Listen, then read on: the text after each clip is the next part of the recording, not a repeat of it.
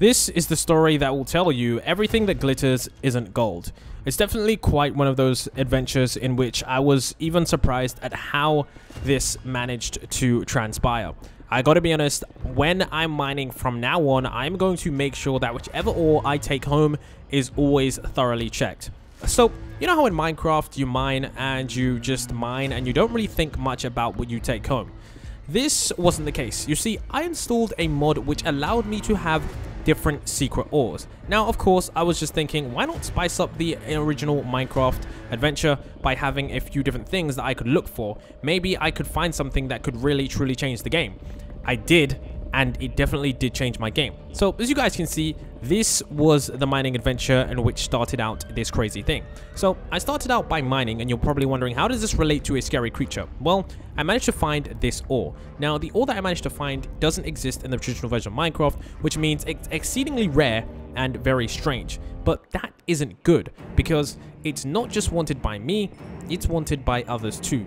And at the time, I didn't really know that. I didn't really know what I had stumbled across. I was just simply excited. So, of course, I was on my mining adventure, I took the ore home, and then things started to be very, very strange. So after getting myself out of this place, I realized that whatever ore I had and whatever ores I had, they were definitely part of a new adventure. I wasn't really sure what I could build. I know that some of them I could build axes, some I could build pickaxes, but I knew that some could potentially give me maybe a jetpack or some kind of nuclear crazy weapon. So I decided that these were going to be kept in my most special and most private chest. Now, at the time, I now know that I wish I did this straight away. But of course, at the time, I didn't know that. So after making some of the materials and then making myself very, very handsomely rich, I decided that I would make sure that I looked and examined this specific ore. As you guys can see right there, it was called unobtainium.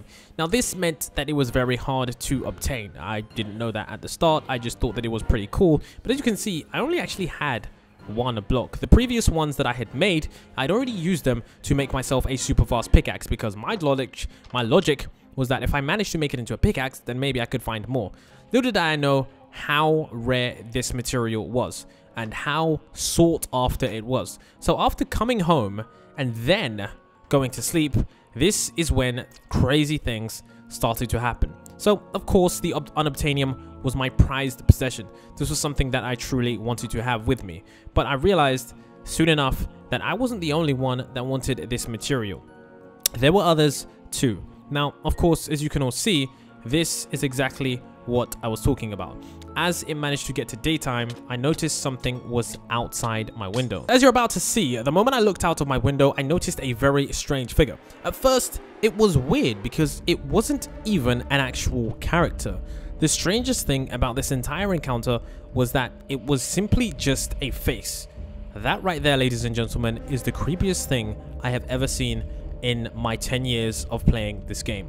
And trust me when I say you wouldn't want to see any more of this. I didn't exactly know how on earth I was going to particularly maneuver around this very strange individual, but I did know that if I wasn't fast or if I wasn't protective enough, my house would become death's ground. You see, unfortunately, my house wasn't that protected. I mean, I did have a fence gate, but as you can see, this creature had a very weird smile with the red eyes and not even a physical body. So I knew that this creature, whatever it was, whatever it was doing, it could definitely breach my house and come inside very quickly. I mean, my doors were wooden, they could be opened by anyone, and the room that I had, it was even stranger. You see, as I went to my very secure vault, I noticed that there was a very weird villager who was holding the exact same item that I was, and he was noticeably smaller than usual, which meant that this villager wasn't really like some kind of, I guess you could say, big villager. He was like a baby villager, which is definitely very interesting. He then said, I was chased out of my village, and of course, I wondered why would he be chased out of his village? What did he do that was that bad that they needed to get rid of him completely? He said, these creatures want this precious ore. Now, of course, as you guys could see right here, it was that moment in which I knew that was the reason why these creatures wanted me. As you guys could see, he said, I'm not sure why. Now, of course, I wasn't sure why either. I was truly stuck on what was going on. But of course, as you guys can see, I decided to go to his village because of course, the baby villagers told me just how dangerous and just how fast these villagers were. So of course, I got my iron axe and I decided to get myself ahead to see if I could find myself exactly what was going on. So of course, I decided to open this up and go down here and see if I could figure out exactly what was going on. Now this was the truly scary part. In this area, this wasn't even my armory. This villager had come in and had somehow managed to build this armor just in case I had ever faced this. I didn't know how much mining this little guy had done, but clearly he'd done quite a bit. So I'd made a new friend, I'd made someone on my companion, but I was wondering why is he not wearing iron armor as well? I don't know exactly what was going on, but he definitely had a lot more materials than I could ever think of. So I decided that after grabbing these materials, that I would head straight back to the village to see exactly what was going on. Now in this door, I don't know what kept happening, but I wasn't sure if it was the creatures infecting my game with some kind of game-breaking code, or if it was the small villager who had protected me in this light space. Either way, I used my unobtainium, managed to break through this, and decided to go through this secret tunnel. You see, we couldn't go outside as we normally would. The problem was, is that if we went outside if we normally would, we would have had to face that creature. And the problem is, that creature is extraordinarily dangerous and strong. So of course, we had to make sure that we went through this underground tunnel. Now, I wasn't sure how he even built this underground tunnel because, of course, as you guys can see, there were many different ores in it. There was even a mob spawner. There were there was even a very, very huge ravine, which I wasn't exactly sure how he had managed to cross. But of course, as you guys can see, I had to traverse this ravine with the help of some cobblestone because that was the only way in which I could be there. So of course, he decided to follow me along and luckily we did manage to make it to the village just in time. So when I made it to the village, I was actually quite scared because he had been chased out allegedly by his own villagers and the creatures themselves.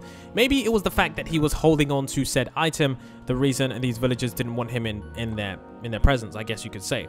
So I decided that I would make sure that whatever I did would help this villager out. And this villager scared me even more. He said that the creature is looking for us too. And I wasn't really sure why he called it a creature because it didn't even seem like a creature. He said we need to hide. And like I said, this guy didn't even have a face. It was just two eyes and a mouth.